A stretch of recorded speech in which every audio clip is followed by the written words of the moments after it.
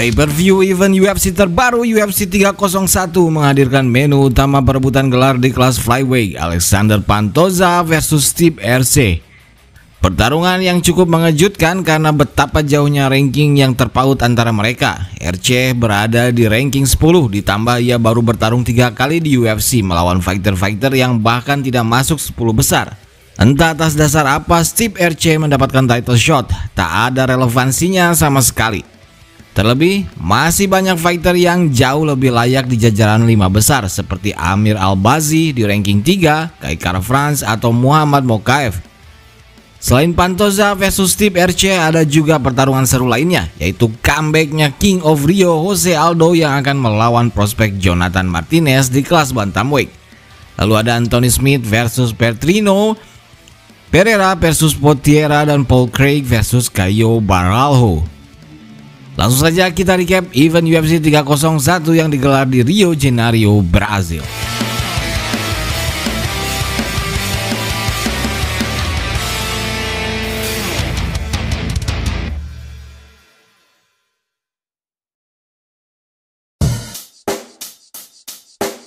Check the mic and make sure it sound right, boys.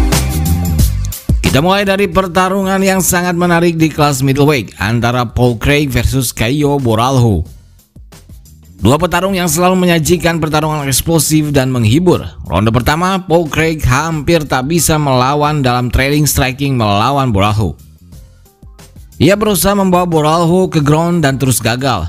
Di ronde kedua lebih parah lagi, Boralho terus mengoutstrike-nya dan akhirnya meng-KO Paul dengan kombinasi cantik yang membuatnya tersungkur. Caio Boralho pun mencetak winning streak ke-13-nya dan kemenangan beruntun ke-6-nya di UFC. Ia layak memasuki 10 besar kali ini, mengingat ia sudah mengalahkan banyak fighter high profile di middleweight seperti Abus Magomedov, Mahmud Moradov hingga Gazi Omar Gaziev dan lain-lain.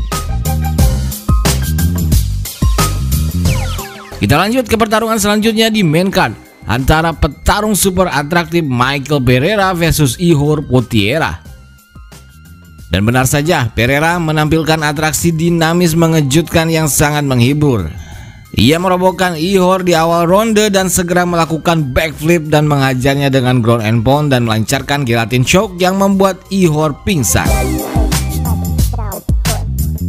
Pereira menghabisi Ihor dalam 58 detik. Ia meneruskan kemenangan beruntunnya menjadi 8 winning streak.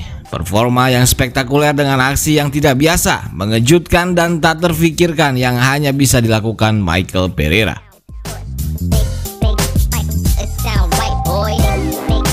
Selanjutnya ada veteran light heavyweight Anthony Smith yang melawan high profile prospect Peter Petrino yang sangat diunggulkan.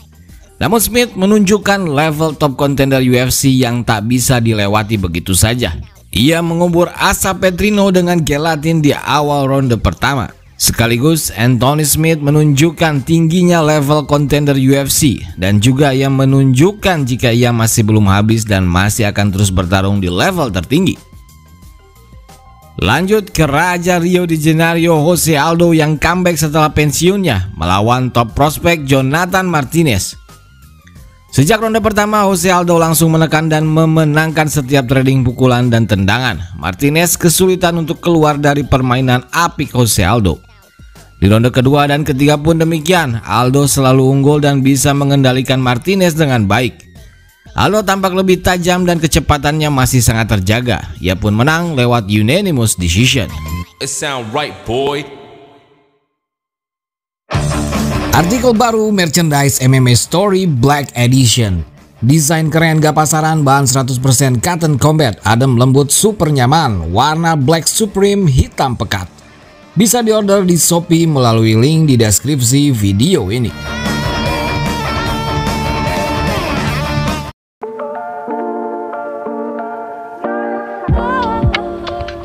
Dan inilah partai utama perebutan gelar flyweight UFC antara sang raja Alexander Pantoza versus Steve RC. Pertarungan langsung berjalan dengan intensitas cukup tinggi di mana keduanya melancarkan banyak serangan. Pantoza sukses melancarkan takedown dan mengontrol RC di sisi oktagon. Ia melancarkan banyak pukulan dari posisi kontrol untuk menutup ronde pertama.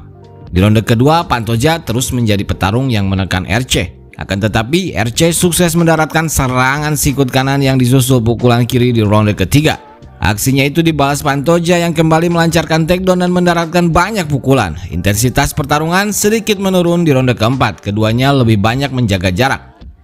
Dan di ronde kelima banyak terjadi adu takedown dan grappling, namun Pantoja bisa lebih unggul dengan kontrol yang lebih banyak. And still, Alexander Pantoja pun masih tetap menjadi juara flyweight. Ia menang melalui unanimous decision. Banyak yang kecewa dengan hasil ini. Banyak yang berpendapat jika RC seharusnya menang karena ia lebih banyak melakukan damage dan lain-lain. Namun memang, walau bagaimanapun kemenangan decision atas juara bertahan akan sangat sulit didapatkan, apalagi dengan pertarungan yang sengit dan seimbang. Sang penantang harus benar-benar dominan jika ingin menang decision, atau jika tidak, ia harus menang dengan finish. Yang pasti, meski memberi perlawanan yang sangat sengit, namun segala upaya Steve RC masih belum cukup untuk membuatnya menjadi juara. Bagaimana menurut kalian? Tulis saja pendapat kalian di kolom komentar. Dan berikut kami juga tampilkan hasil lengkap UFC 301 kemarin.